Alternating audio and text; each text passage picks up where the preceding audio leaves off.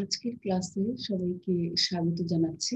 আজ আমাদের ancient philosophical classics Plato and Aristotle এই কোর্সে আমরা যে আলোচনায় এখন পর্যায়ক্রমে আছি প্লেটোর রিপাবলিক আলোচনা চলছে আমাদের। এখানে আজকের topic Plato's Republic book five এখানে আমরা গতদিনের ক্লাস যদি একটু দেখে নিই, ন্যায়ের বিষয়ে আমরা আলোচনা শেষ করেছিলাম। সেখানে আমরা দেখতে পেয়েছিলাম যে তার আগের ক্লাসগুলোতে যখন ন্যায়ের একটা গ্রহণযোগ্য সংজ্ঞা নিয়ে আমরা দীর্ঘ আলোচনা হতে দেখেছি রিপাবলিকে, তারই পর্যায়ক্রমে আমরা ন্যায়ের একটা সর্বজন গ্রাহ্য একটা সংজ্ঞার কাছে এসে পৌঁছেছি। সেখানে আমরা দেখতে পাচ্ছি যে ন্যায় বলতে রিপাবলিকে এখানে যে মূল ভাষ্যকার, এখানে যিনি বলছেন, সূত্রধর যিনি কথক, সক্রেটিস বলছেন যে সংযম, সাহস আর জ্ঞান, এই তিনের যে সঙ্গতি, সেই সঙ্গতি আর পরিমিতি বোধ এই তিনের যে পরিমিতি বোধ আর সঙ্গতি তা থেকে যে কর্তব্য জ্ঞান আসে মানুষের, সেই কর্তব্য জ্ঞানের ভেতর দিয়ে সে যখন তার নিজের কাজটাকে চিনতে পারে, নিজের কর্তব্য জানতে পারে, তা ঠিকভাবে সম্পাদন করে আর অন্যের কাছে হাত দেয় না, হস্তক্ষেপ করে না, তাই হচ্ছে ন্যায়। এই আমরা সার কথা, ন্যায়ের মূল যে কথাগুলো, তা আমরা এভাবে জেনেছিলাম। তারপরে আমরা আরেকটা বিষয় দেখতে পেয়েছি যে রাষ্ট্রে কীভাবে ন্যায়কে আমরা দৃশ্যমান দেখেছিলাম ন্যায় রাষ্ট্রের ভিতরে এবং ব্যক্তিতে কীভাবে ন্যায় প্রতিফলিত। ন্যায়ের যে ধারণা আমরা এই সংজ্ঞার ভিতরে পেয়েছি, তা রাষ্ট্রে কি রূপে আসে এবং ব্যক্তিতে কোন রূপে তা আমরা দেখতে পাই।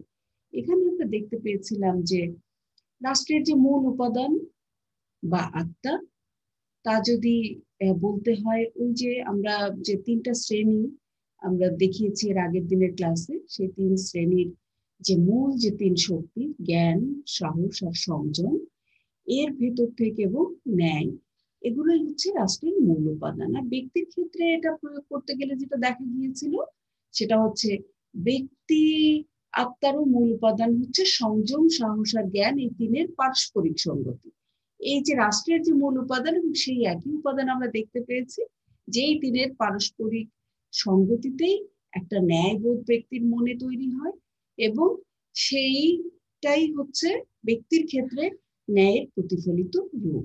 এবং এক্ষেত্রে আমরা দেখেছিলাম যে কি, যেভাবে ব্যক্তির অন্য প্রবৃত্তি, তার সাহস, এই সব কিছুকে শাসন করে, জ্ঞান বা বুদ্ধির অংশ সেইভাবে আমরা এটাও দেখেছিলাম যে জ্ঞান হচ্ছে দেহের আত্মা এবং এই জ্ঞানের যে অংশটা, সে হচ্ছে দেহের যেন দার্শনিক। এই রাষ্ট্রের যে মূল উপাদানে আমরা, রাষ্ট্রের যে তিন শ্রেণীতে আমরা প্রথমে গতদিনের ক্লাসে দেখেছিলাম, সেখানে যে দার্শনিক শাসকের যে ধারণা শাসক শ্রেণির যে দার্শনিক প্রজ্ঞা সম্পন্ন যে শাসক শ্রেণির কথা আমরা জেনেছি, এই জ্ঞান যেন দেহের ক্ষেত্রেও তাই। জ্ঞান হচ্ছে দেহের আত্মা। এবং দেহের দার্শনিক। এবং এই জ্ঞানই জানে তার করণীয়টা কি। এবং এই যে সঙ্গতি দেহে আছে, তাকে আমরা দেখেছিলাম শেষ বিচারে, সুস্থ দেহ, সুস্থ আত্মা, এটা বলা হচ্ছে। এবং আদর্শ রাষ্ট্রের ক্ষেত্রেও আমরা দেখেছি এই উপাদানগুলো মিলেই আদর্শ রাষ্ট্রের রূপরেখা প্রণয়ন করা হয়েছে। আজকে আমাদের আলোচ্য আমরা আগেই বলেছি যে বুক ফাইভ সেখানে এবার আমরা যেটা নতুন এক বিষয়ের মুখোমুখি হয়েছি রিপাবলিকে সেটা হচ্ছে নারী পুরুষের সমতা বিষয়। নারী পুরুষের সমতা বিষয়ে কি কথা এখানে আমরা দেখতে পাই? যে এই ধারণাটা, নারী পুরুষ সমতা বিষয়ে কদিন আগেই আমাদের আন্তর্জাতিক নারী দিবস, আটই মার্চ গেছে আমরা সমস্ত যে খবরের কাগজ এবং সামাজিক যোগাযোগ মাধ্যম সবকিছুতে আমরা এর একটা প্রচারণা, একটা একটা উৎসব মুখর পরিবেশ দেখতে পেয়েছি যেখানে এই বিষয়ে আলোচনা হচ্ছে, আলাপ চারিতা হচ্ছে, কথাবার্তা হচ্ছে। কিন্তু আড়াই হাজার বছর আগে যে বইটা লেখা হয়েছে, এই রিপাবলিক, সেখানে করে এই নারী পুরুষ সমতার বিষয়টা এসেছে। তাই আজকে আমাদের দেখার বিষয় এবং সেই আলোচনায় আজকে আমাদের হবে। এখানে ওই যে সময়, যে সময়ের কথা আমরা বলছি, সময়টা আমরা আগেই দেখেছি যে প্লেটোর যে সময়, তিনি মারা গিয়েছেন খ্রিস্ট জন্মেরও সাড়ে তিনশো বছর আগে। তো সাড়ে তিনশো খ্রিস্ট জন্মের সাড়ে তিনশো বছর আগে, আর এখন আমরা যে সময়ে অবস্থান করছি, এটা আড়াই হাজার বছর আগের কথা। সেই যে আড়াই হাজার বছর আগের যে এথেন্স সেই এথেন্সের সামাজিক প্রথা, বিশ্বাস, এখানে কিন্তু ওই সমাজটা এতটাই উন্নত ছিল, এটা আমরা এই দর্শনের আলোচনা থেকেও বুঝতে পারি যে কি গভীর আলোচনা এই রিপাবলিকেই চলছে। যে আলোচনাতে আমরা দেখি যে নারী পুরুষ সমতার মতন বিষয় সেখানে চলে এসেছে। এবং এই যে সামাজিক তখনকার যে এথেন্স সেই এথেন্সের সেই অগ্রসর যে নগর রাষ্ট্র সেই অগ্রসর নগর রাষ্ট্রে নারী পুরুষের প্রসঙ্গটা এরকমই একটা প্রেক্ষিত তখন তৈরি হয়েছিল, যে প্রেক্ষিতে এই প্রশ্নটা সামনে এসেছিল যে নারীদেরও পুরুষের মতো সামাজিক ও রাষ্ট্রীয় দায়িত্বে অংশগ্রহণের সমান অধিকার থাকা উচিত। যে কথা হয়তো আড়াই হাজার বছর পরের এই পৃথিবীতে অনেক দেশে, অনেক অঞ্চলে এখনও এক বদ্ধ ধারণা, এর বিপরীত ধারণা রয়েছে যে এক ধরনের পুরুষতান্ত্রিক মনোভাব যেখানে প্রকট হয়ে আছে। আমাদের মতন এরকম যে সমাজগুলো আমরা দেখতে পাই পৃথিবীর নানা প্রান্তে, সেখানে এগুলো রয়েছে। সেরকম একটা জায়গায় বসে এই আড়াই হাজার বছর আগের লেখা এই বইয়ে যখন আমরা এই নারী পুরুষ সমতা বিষয়ে খুব গুরুত্বপূর্ণ আলোচনা দেখি, তখন সত্যি মানে বিস্মিত হতে হয় যে এরকম একটা এতটা উন্নত, এতটা অগ্রসর সেই সমাজ তখন ছিল। কিন্তু সেই সমাজেও এই চিন্তাটা তখন চলছিল এবং তোমরা জানো এথেন্সের মতনই, আহ, আরেকটা নগর রাষ্ট্র যে স্পার্টা, সেখানে নারীদের অংশগ্রহণ অনেকাংশ শুরু হয়ে গিয়েছিল তখন। কিন্তু এথেন্সে তখনও ঠিক সেভাবে শুরু হয়নি রাষ্ট্রীয় এবং সামাজিক জীবনে নারীর প্রতিষ্ঠা। যে প্রতিষ্ঠা এখনও এই আড়াই হাজার বছর পরেও বহু অঞ্চলে হয়নি, কিন্তু তখন সেটা এথেন্সের সামনে চলে এসেছিল গ্রিসের সমাজ জীবনে, কিন্তু পুরোপুরি তখনও প্রতিষ্ঠিত হয়নি। এরকম একটা অবস্থাতে আমরা সক্রেটিসকে, যিনি এই রিপাবলিকের মূল সূত্রধর, আলাপচারিতা, তিনি বলছেন, সন্তান ধারণের ক্ষেত্র ছাড়া গুণের প্রশ্নে নারী এবং পুরুষের মধ্যে কোনো পার্থক্য নেই। এরকম একটা যুগান্তকারী কথা সেই রিপাবলিকে সেই কত হাজার হাজার বছর আগের রিপাবলিকে এই কথা সক্রেটিস বলে, বলেছিলেন যে গুণের প্রশ্নে সন্তান ধারণের প্রসঙ্গটা তো প্রাকৃতিক। এবং এই অংশটুকু বাদ দিলে তিনি এভাবেই বলছেন সন্তান ধারণের ক্ষেত্রে ছাড়া গুণের প্রশ্নে নারী আর পুরুষের কোনো পার্থক্য নেই। এবং এর প্রেক্ষিতে, এই কথার প্রেক্ষিতে তাদের যে আলোচনা গ্লোকন অ্যাডিমেন্টাস এদের সাথে চলছে, সেখানে তারা যে আলোচনাটায় পর্যায়ক্রমে এগিয়ে গেছেন, সেটা ছিল এরকম যে সমাজ এবং রাষ্ট্রীয় কাজে নারীর অংশগ্রহণ কীভাবে হবে, কেমন করে হবে।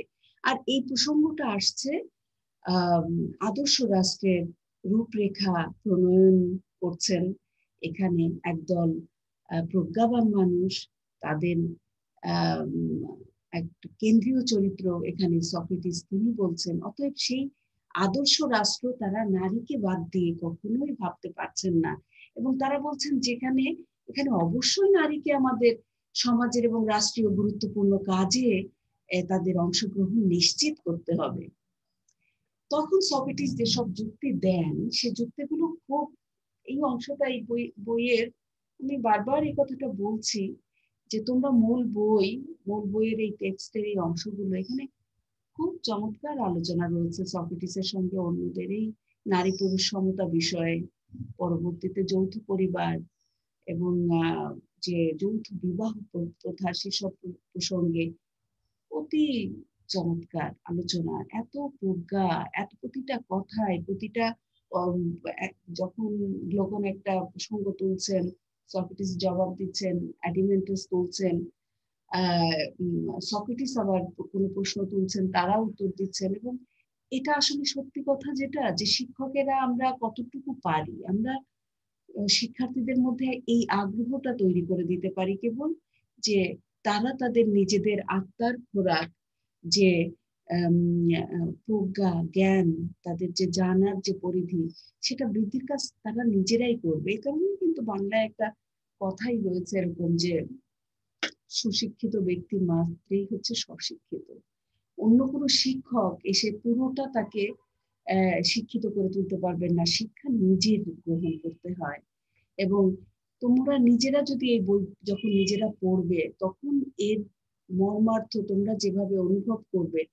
এবং আমি এখানে হয়তো বলব তোমাদেরকে, কিন্তু আমি তো পুরো বই, পুরো পাতা জুড়ে এভাবে আরেকজনের বলা এটা হবে না। এটা ওই ব্যক্তিকেই আহরণ করে, জ্ঞান হচ্ছে আহরণের বিষয়। জ্ঞান কেউ কাউকে একেবারে মানে গলাধকরণ করে দিতে পারে না। এটা তাকে নিজে নিজে সংগ্রহ করতে হয়, নিজে এটা আহরণ, সে কারণেই বলা হয় জ্ঞানের ক্ষেত্রে এই কথাটা যে জ্ঞান আহরণ করা। তো এটা আমি, এই আগ্রহটা হয়তো আমি শিক্ষক হিসেবে এটুকু করতে পারি, কিন্তু জানি না কতটুকু সম্ভব হয়েছে যে তোমাদের ভেতরে যদি সেই আগ্রহ তৈরি না হয়ে থাকে, তাহলে শিক্ষার মূল উদ্দেশ্যই আসলে বাধাগ্রস্ত হয়ে হয়ে থাকে সেই সব ক্ষেত্রে। কেননা তোমাদের নিজেদের আগ্রহে এইসব বই হাতে নিতে হবে, পড়তে হবে। মূল কথায় আসা যাক, সেখানে যে এই আলোচনার ভিতরে আমরা যে যে মূল কথাগুলো পেয়েছিলাম, সেগুলো ছিল এরকম। সক্রেটিস বলছেন রাষ্ট্র শাসনের এমন কোন ক্ষেত্র রয়েছে যেখানে যেটা কেবলমাত্র নারী বা কেবলমাত্র পুরুষের? এটা তো সক্রেটিস বলছেন যে এটা তো দেখা যায় না যে এমন কোনো কাজ যেটা কেবল নারীই করতে পারে, পুরুষ পারে না। যা সাধারণত নারী করে থাকে সে কাজ অনেক ক্ষেত্রে পুরুষরা পারেন। আবার যে কাজ পুরুষের বলে ধরে নেওয়া হয় সে কাজও নারী করতে পারেন।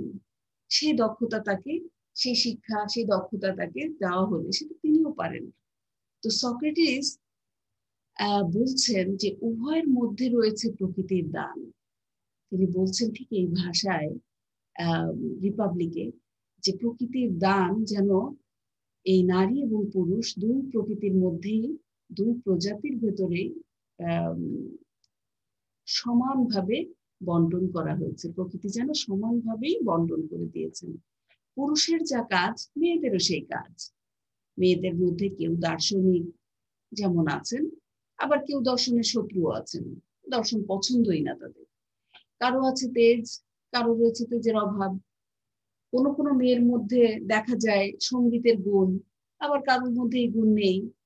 এই যে পার্থক্যটা সকেটিস এখানে করে দেখাচ্ছেন যে এই পার্থক্য মেয়ে, ছেলেদের মধ্যেও রয়েছে, পুরুষের মধ্যেও রয়েছে, সব পুরুষ তো দার্শনিক নন। সব পুরুষ তো খুব তেজি, সাহসী, বীর, নন। অনেক ভীতু পুরুষও আছেন, অনেক দর্শন, প্রজ্ঞা এসব পছন্দ হয় না। এরকম পুরুষও আছেন। সেটা সকেটিস দেখাচ্ছেন যে নারী থেকে নারীতে যেমন ভিন্নতা রয়েছে পুরুষের, পুরুষেরও ভিন্নতা রয়েছে। কিন্তু অভিভাবক বা শাসক হওয়ার গুণ নারী এবং পুরুষের মধ্যে উভয়ের মধ্যেই রয়েছে। যদি ওই যে শিক্ষা যে শিক্ষা একজন পুরুষকে উত্তম শাসকে পরিণত করবে, সেই একই শিক্ষা যদি একজন নারীকেও দেওয়া হয়, তাহলে সেই নারীও উত্তম শাসকে পরিণত হবেন। এতে সক্রেটিসের আর কোনো সন্দেহ নাই। এখনকার এই সমাজের যে অনেক ধরনের কুসংস্কার, কুশিক্ষায় অনেক পুরুষের মধ্যে ধারণা থাকতে পারে, এখন পর্যন্ত। হয়তো বহন করছেন অথচ আড়াই হাজার বছর আগের মানুষ, সক্রেটিস। তিনি নিশ্চিত ছিলেন যে একই শিক্ষা পুরুষকে যে যদি উত্তম করে, তাহলে নারীকেও সেই শিক্ষা উত্তম করবে। এবং উত্তম শাসকে যদি পুরুষকে পরিণত করে, তাহলে নারীকেও উত্তম শাসকে পরিণত করবে। এতে সক্রেটিসের আর কোনো সন্দেহ নেই। তো তিনি তো আর পরে বললেন যে কথাটা, সেই কথোপকথনের শেষে আমরা দেখতে পাই এরকম যে তিনি বলছেন মানুষ হিসেবে নারী ও পুরুষের মূল চরিত্র এক। না, মানুষ হিসেবে নারী ও পুরুষের মূল চরিত্র এক। কথাটা কে বলছেন? বলছেন সকেটিস অনেক তর্ক হয়েছে, যুক্তি বিতর্ক, নানা কিছু।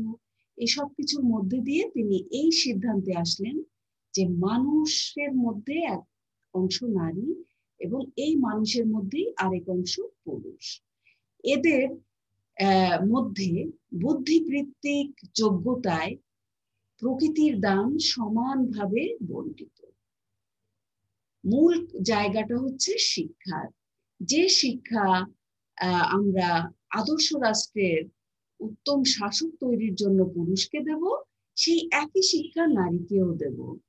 তাহলে আমরা উত্তম শাসক নারীর মধ্যে থেকেও পেতে পারি পুরুষের মধ্যেও থেকে পেতে পারি। আমরা এখানে নারীকে কোনোভাবেই এই রাষ্ট্রীয় এবং সমাজের কাজের অংশগ্রহণ থেকে বঞ্চিত রাখব না। কারণ এটার আদর্শ রাষ্ট্র। এখানে সবকিছু নিখুঁত হতে হবে। যদি আমরা নারীকে সমাজের এবং রাষ্ট্রের কাজ থেকে, কাজে তার অংশগ্রহণ থেকে যদি তাকে বঞ্চিত করি, তাহলে সেটা একটা সুন্দর সমাজ হবে না। সেটা একটা সর্বাঙ্গ সুন্দর যে সমাজ, যার চিন্তা এতক্ষণ ধরে সক্রেটিস আলোচনার ভেতর দিয়ে আদর্শ রাষ্ট্রের রূপরেখা দিচ্ছেন, সেটা সম্ভব হবে না। কেন সম্ভব হবে না? সম্ভব হবে না এজন্যে যে এই যে একটা সমাজের অর্ধেককে কোনো একটা কর্ম পরিকল্পনার বাইরে রেখে দিয়ে কর্ম পরিকল্পনার ভিতরে আসতে না দিয়ে তাদেরকে বঞ্চিত করে এভাবে কখনো কোনো সমাজ উন্নত হতে পারে না। এবং সমাজ যেহেতু একটা উন্নত সমাজই একটা উন্নত রাষ্ট্র তথা আদর্শ রাষ্ট্রের একটা মূল ভিত্তি বা শক্তি, সে কারণে সক্রেটিস মনে করেন যে নারীকে তার যোগ্য মর্যাদা দিতে হবে। মানুষ হিসেবে নারীর যে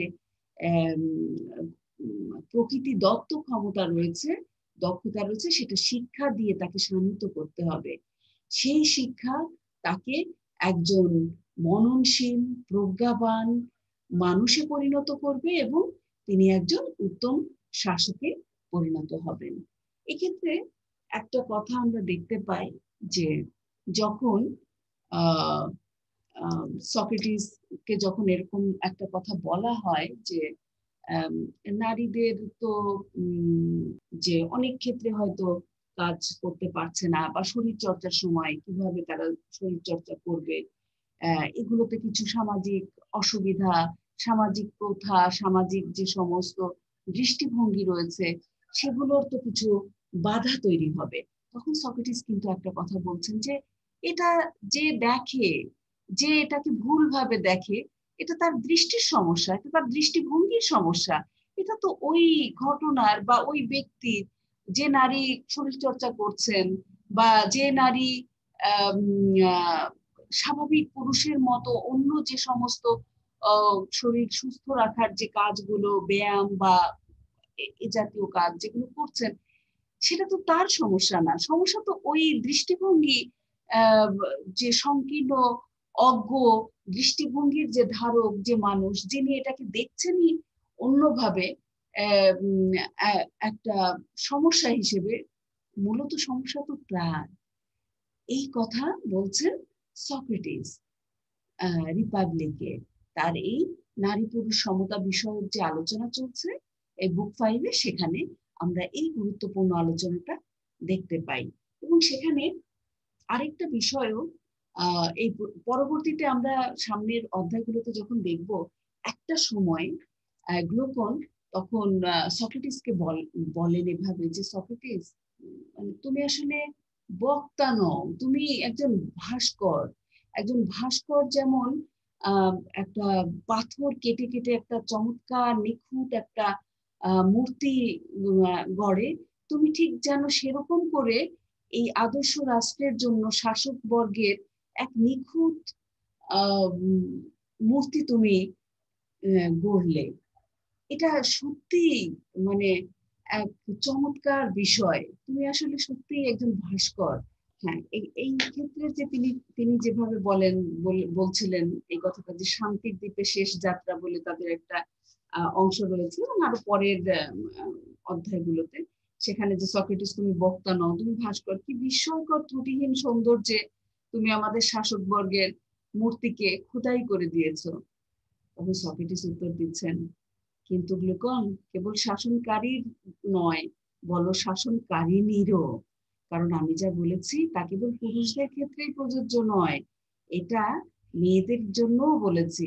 অতএব তোমার বরং বলা উচিত যে যে শাসনকারী যদি শুধু বলো তাহলে কিন্তু ভুল বলা হবে। বলো শাসনকারী এই কথাটা শেষে গিয়ে যখন এই আলোচনাটা আরও পরিপক্কতা পেয়েছে, তখন লোকন যখন যখন বিতর্কগুলো স্তীমিত হয়ে আসছে, তারা আসলেই মেনে নিচ্ছেন যে সত্যি এক নিখুঁত সৌন্দর্যে তিল তিল করে সক্রেটিস আদর্শ রাষ্ট্র করছেন যেখানে কোথাও কোনো অন্যায়ের প্রবেশ পথ থাকবে না। অন্যায় বা কাউকে কোনো অধিকার বঞ্চিত করার বা রাষ্ট্রে কোনো অব্যবস্থা, কোনো ধরনের অসততা, প্রবেশের কোনো সুযোগই যেখানে থাকবে না, সেরকম একটা রাষ্ট্র প্রতিষ্ঠার ক্ষেত্রে তিনি যেমন তিল তিল করে গড়ছেন তখনও সক্রেটিস সেই প্রশংসার প্রসঙ্গেও সক্রেটিস এই কথাটা মনে করিয়ে দিচ্ছেন যে এখানে কেবল উত্তম শাসকের প্রসঙ্গ, শাসনকারীর প্রসঙ্গই আলোচনা হচ্ছে না, উত্তম শাসনকারিনীরও আলোচনা হচ্ছে, আমরা আমি করেছি। তিনি কোনোভাবেই নারীকে এক চুলো পুরুষ থেকে পিছিয়ে রাখবেন না। কেননা তিনি তার প্রজ্ঞা, তার জ্ঞান, তার সমস্ত কিছু, তার যত দার্শনিক চিন্তা, সেই চিন্তার সারাচ্ছার তিনি এই কথাটার মধ্যে বলেছেন যে, মানুষ হিসেবে নারী ও পুরুষের মূল চরিত্র এক। এই হচ্ছে আমাদের আজকের এই আলোচনা। এবং সেখানে এই আলোচনাতে আমরা আরও দেখি যে এই কথারই নানাভাবে নানা চমৎকার যুক্তি শৈলী তিনি দিচ্ছেন যে, আদর্শ রাষ্ট্রের শিক্ষা ব্যবস্থা, আদর্শ যে শিক্ষা ব্যবস্থা, সেই শিক্ষা ব্যবস্থার ভিতর দিয়ে রাষ্ট্রের পুরুষেরা যতদূর সম্ভব উত্তম হবে এবং নারী, নারীরাও যতদূর সম্ভব উত্তম হবে। এর চেয়ে এর চেয়ে চাইতে রাষ্ট্রের স্বার্থের জন্য মঙ্গলজনক আর কিছু হতে পারে না। এটাই ছিল সক্রেটিসের এই নারী পুরুষ সমতা বিষয়ে বক্তব্যের শেষ কথা। আজকের আলোচনা আমাদের এখানেই শেষ হচ্ছে। আগামী ক্লাসে তোমাদের সঙ্গে আবার কথা হবে। আশা করি সে পর্যন্ত তোমরা সবাই এই প্লেটোর ওপরে পড়াশোনা চালিয়ে যাবে এবং রিপাবলিকের বিস্তারিত তোমরা পড়বে। সবাইকে অনেক অনেক শুভকামনা। সবাই ভালো থাকবে, এই আশা করছি।